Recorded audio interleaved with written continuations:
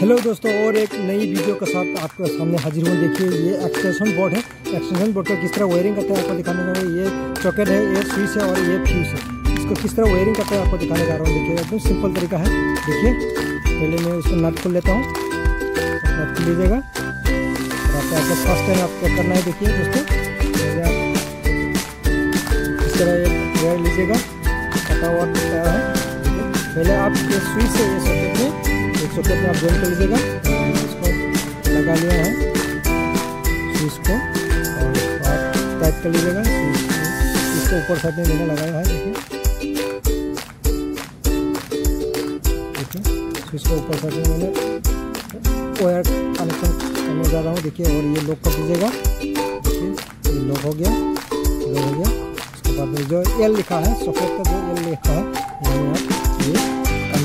ठीक है। तो कितने जो एल है एल मतलब फेस है फेस मार डालिए एकदम सिंपल बात है एल मतलब फेस है और एल मतलब न्यूट्रल है। तो मैंने एल मतलब फेस में डाला है तो ये देखो, ये स्विच और ये चॉकेट में मैंने लगा लिया। सॉकेट लगा लिया देखिए दोस्तों। ये तो स्विच है और ये फ्यूज है तो मैं क्या करेंगे, पहले मैं स्विच और फ्यूज को मैं जोड़ लेता हूँ।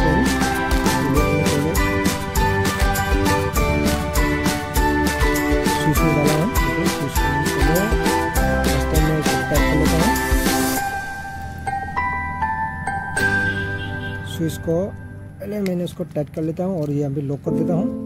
लॉक करने के बाद में जो फ्यूज है फ्यूज में आप लगा लीजिए, देखिए। सिंपल तरीका है, देखिए। फ्यूज में लगा लीजिए और आप उसको टाइट कर लीजिए, ठीक है? तो सिंपल तरीका है। फ्यूज में लगा लिया। देखिए। हो गया मेरा काम। उसके बाद मैं क्या करूँगा, देखिए।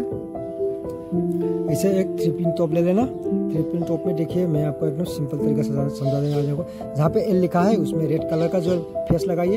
एल मतलब रेड कलर लगाइए और एन मतलब न्यूट्रल लगाइए।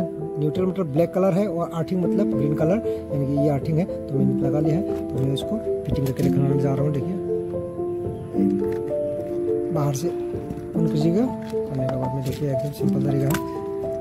मेरे जो फ्यूज है। फ्यूज का ऊपर साइड में देखिए ये फेस फेस लगाना पड़ेगा।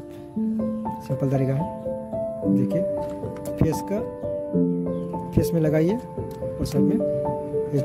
ये, फ्यूज है। फ्यूज को ऊपर से जाएगा। आप उसको टाइट कर लीजिए। अच्छी तरह उसको टाइट कर लीजिए। टाइट करने के बाद में इसे लॉक कर दिए ठीक है?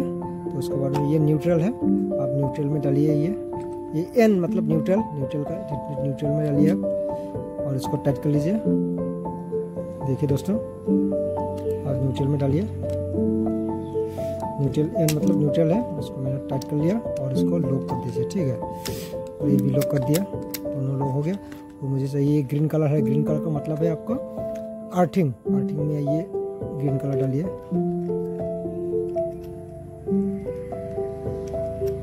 लगा लिया आर्थिंग आर्थिंग का अब वायरिंग भी हो गया। एकदम सिंपल तरीका आपको मैं फिर बताने जा रहा हूँ। देखिए दोस्तों।